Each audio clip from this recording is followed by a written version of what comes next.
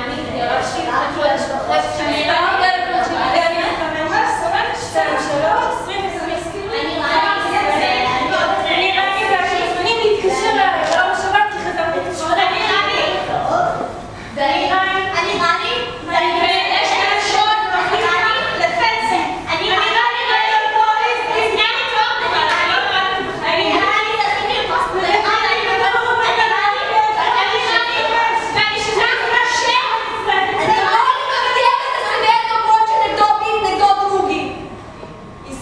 trudimo. Edino tako bomo srečni, ko bomo spoznali, kaj je to, kar sami želimo in bili v tem močnejši in boljši.